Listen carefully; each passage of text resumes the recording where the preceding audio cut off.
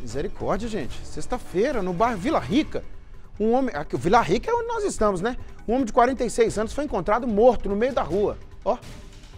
De acordo com as informações, a gente vê ali, né? A equipe do SAMU, Serviço de Atendimento Móvel de Urgência, foi acionada para atender a ocorrência onde Célio Santos da Silva havia sofrido uma queda.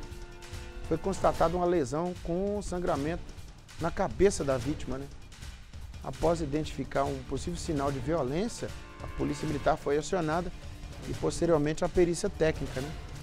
A princípio, a provável causa da morte eh, não pôde ser constatada, né? Pois será necessária uma perícia mais detalhada, não sendo possível dizer que o caso possa ser um crime de homicídio.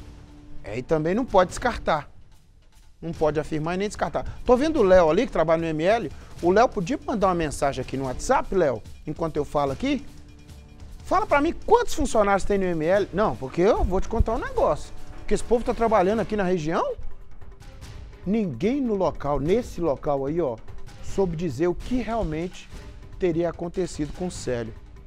E após o trabalho pericial, o corpo dele foi encaminhado ao posto de perícias médicas né, do Instituto Médico Legal. A, Polícia Militar realiza diligências para tentar descobrir o que de fato teria acontecido nesse local, bairro chamado Vila Rica, também conhecido como onde está instalado o Sistema Leste de Comunicação. É. Meu pai eterno, o que teria acontecido com o Célio, hein? O que será, hein? Meu Deus.